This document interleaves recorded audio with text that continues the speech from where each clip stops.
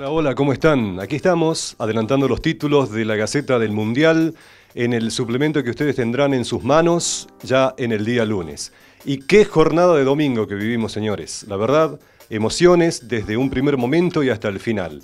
En el comienzo de la jornada, Holanda sobre el final pudo con México, le ganó 2 a 1 y obtuvo su pase a los cuartos de final. Más tarde, cuando parecía que Costa Rica se llevaba el partido por 1 a 0 frente a Grecia, los griegos empataron sobre el final, hubo que recurrir a la largue, luego a los penales y allí sí Costa Rica pudo refrendar su clasificación. Ahora se va a citar con los holandeses en los cuartos de final de la Copa del Mundo de Brasil.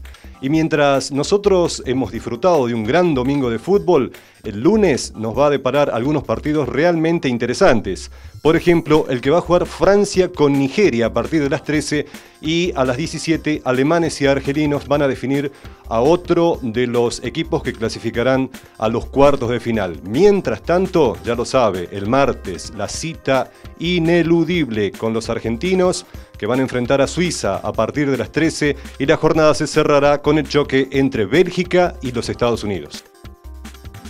El segmento que tiene que ver con la selección argentina y otra vez una figura ya recurrente de los últimos días, la Bessi, el delantero de la selección que aparentemente, y por lo que planteó Sabela en los entrenamientos, será titular, pero no en su función específica de delantero, sino que va a ser un trabajo muy parecido al de un volante ofensivo.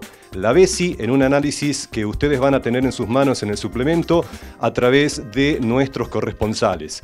Otra novedad importante en la selección argentina fue el retorno al entrenamiento de Agüero luego de la molestia muscular. Aún no se sabe si Argentina va a clasificar efectivamente a cuartos de final, pero aparentemente Agüero va a hacer un esfuerzo para estar en la próxima instancia.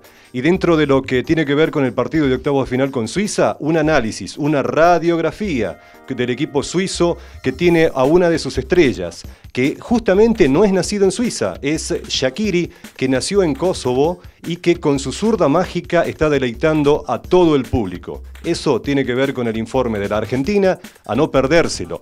Y claro está, dentro del plus que entrega este suplemento en esta jornada de lunes, ustedes van a poder leer acerca de la nueva estrella del fútbol mundial.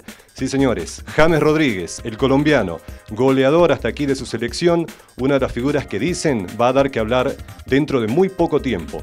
Esos son los principales títulos que ustedes van a tener en el suplemento de la Gaceta. Hay que disfrutarlo, por supuesto. Gracias.